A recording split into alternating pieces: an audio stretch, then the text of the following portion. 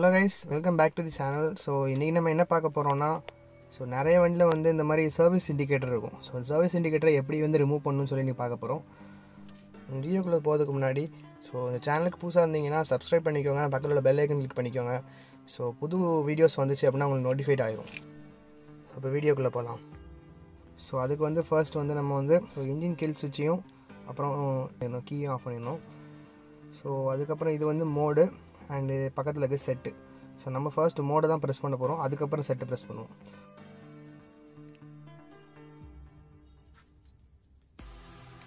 First key on பண்ணிவிட்டு அப்புறம் மோடை லாங் ப்ரெஸ் பண்ணணும். அப்புறம் இன்ஜின் கில் சுவிட்ச் ஆன் பண்ணணும். ஸோ இது வந்து பிஎஸ் த்ரீ வேரியண்ட்டு ஸோ அதனால் வந்து இப்படி. பட் பிஎஸ் ஃபோர் வேரியண்ட்டை வந்து கீ ஆன் பண்ணும் போதே நம்ம வந்து மோடை ப்ரெஸ் பண்ணணும். ஸோ மோடை வந்து லாங் ப்ரெஸ் பண்ணிகிட்டே இருக்கணும். அது பிளிங்க் ஆகிற வரைக்கும். நம்ம சர்வீஸ் இண்டிகேட்டர் வந்து பிளிங்க் ஆகிற வரைக்கும் மோடை ப்ரெஸ் பண்ணணும். ஸோ மோட் ப்ளேஸ் பண்ணி பிளிங்க் ஆச்சு அண்ட் அதுக்கப்புறம் செட்டை ப்ரெஸ் பண்ணணும். செட்டை வந்து நம்ம எவ்வளோ நேரம் ப்ரெஸ் பண்ணணும் அது வந்து டிசப்பியர் ஆகிற வரைக்கும் செட் பண்ணணும். செட்டை ப்ரெஸ் பண்ணணும்.